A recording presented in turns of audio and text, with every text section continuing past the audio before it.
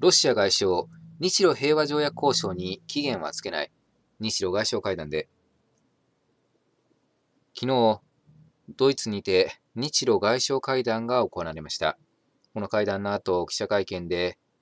ロシアのラブロフ外相は、日露平和条約の締結交渉について、ロシアは条約締結の期限を人為的に設けることはしない。日本側には条約締結の期限を綿密に計算することは不可能だと冷静に説明をしていると発言をいたしました。これに対して河野外務大臣は記者会見で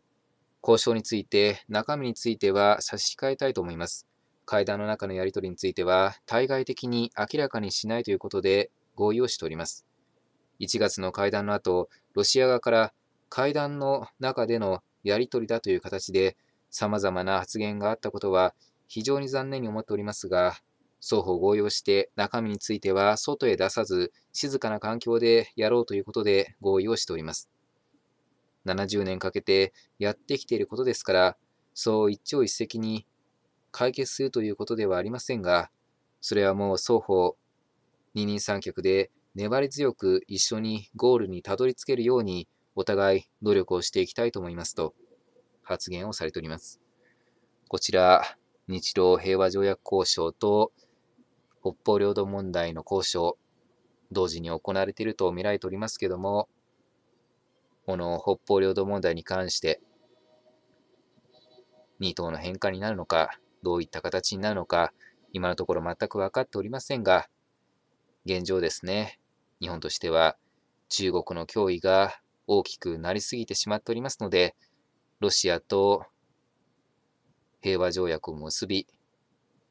日本とロシアが味方同士になれば、中国の背後をですね、ロシアが攻めれるという有事の際にはそういった作戦も可能になりますので、日本政府には今後の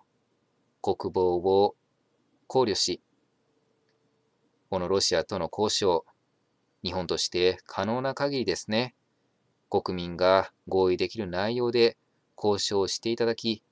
また、長期的な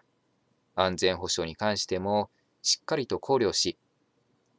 交渉を進めていただくようお願いいたします。以上になります。ご清聴いただきありがとうございました。